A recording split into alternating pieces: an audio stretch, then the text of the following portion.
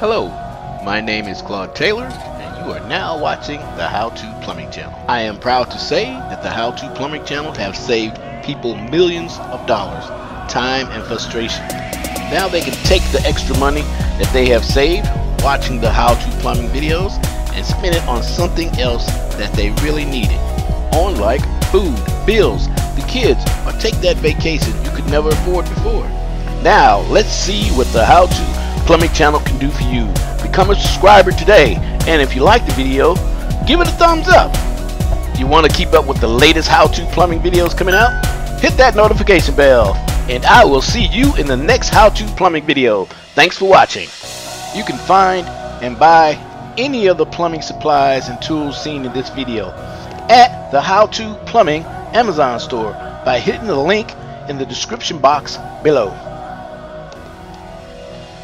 With all that said, I would like to offer a challenge, a challenge, yes, to you guys, the YouTubers that are watching this right now. In the description box below, describe to me what would be the best place and the most creative way that you can install an upflush in your home or anywhere else. I would just love to see how creative you guys could be. And if you have any inputs on the review of this video, also put that in the description box below. I would like you guys to know that this is not a paid advertisement. The representatives over at Saniflo did provide the toilet and the grinder pump assembly. Thanks to them, I can produce a how-to plumbing video and something for my viewers. Now let's talk about the uh, Upflush toilet review the people over at Sanoflush emailed me one day and they asked if I could uh, videotape and review their product. They are they actually specialize in pumping systems, but they have developed a system to where you can uh, actually install a toilet just about anywhere that you can think of, and they use a small pump to make this works. So the toilet actually flows out the back and flows into a tank and is pushed out and to the system after everything is grind up.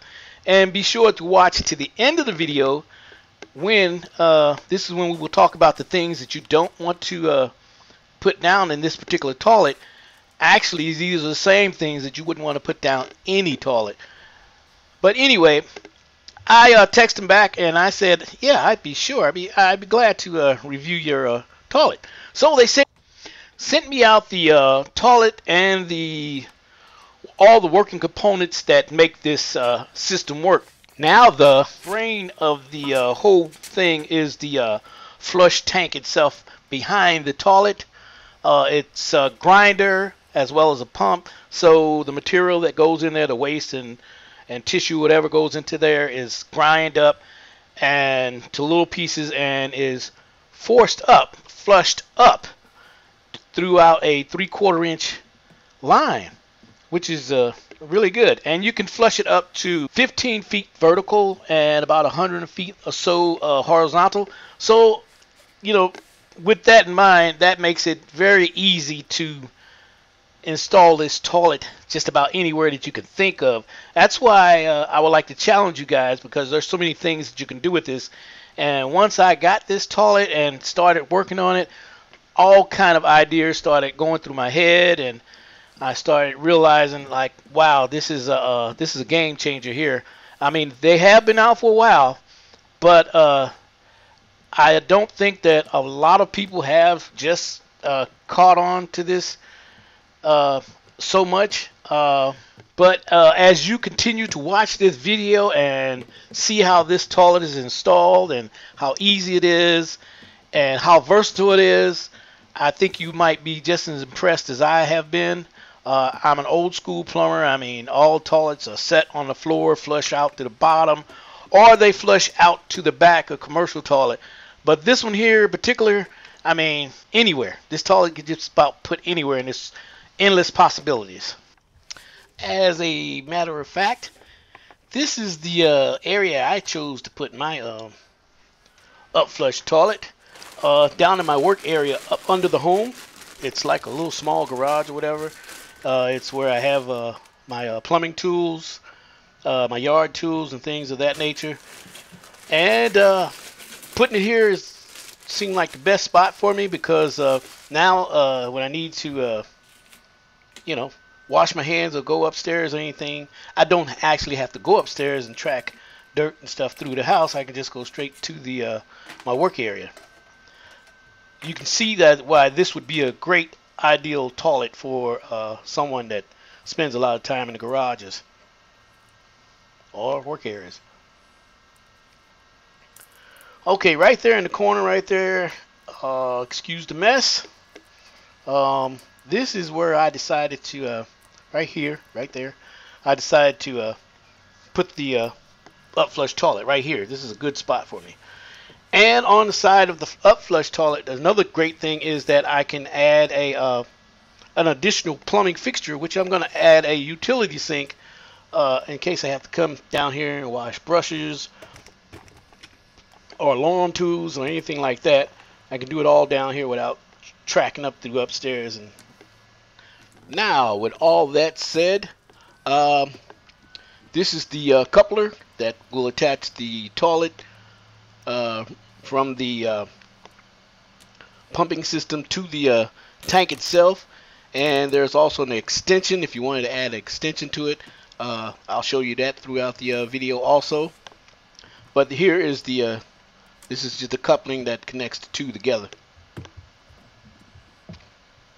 And you can see how flexible it is. It makes it easy to work with and give you some room in case you need room to maneuver your toilet or tank around. This is the extension that goes to the toilet. Uh, just in case, if you want to extend the toilet out uh, much further away from the uh, pumping system uh, itself, you can do that. And me, uh, I would recommend if you're going to do this, I wouldn't recommend putting it behind drywall uh, I would recommend if you do anything of that nature, I would recommend that you make an access to the pumping system just in case uh, you need it for future uh, future use and need to get into it. Right here you can see how flexible the uh, coupling could be.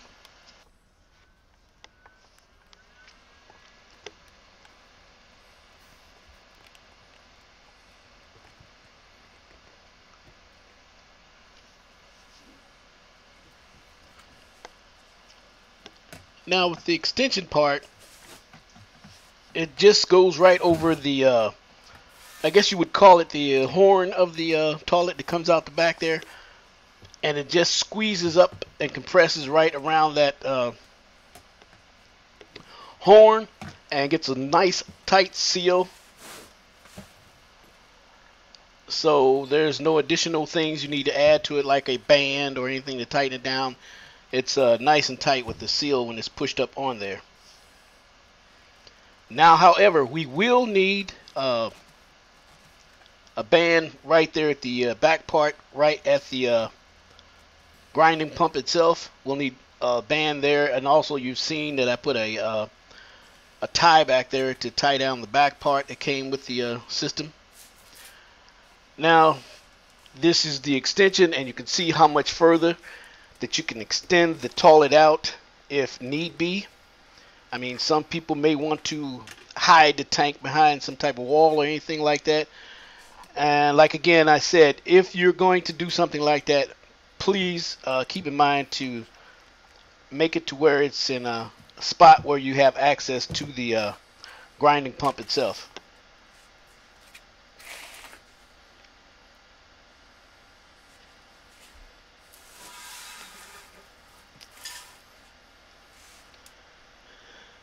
So now without the extension, we remove the extension and this is what we're going to do. This is what I end up doing anyway because I really don't need the extension uh, in the area that I'm working in. Um, I'm sure some of you out there probably have some great creative ideas and that extension will come in handy for you. But right now, all I want to do is just hook mine directly up to the uh, grinder pump uh, because I don't need the room. Actually, I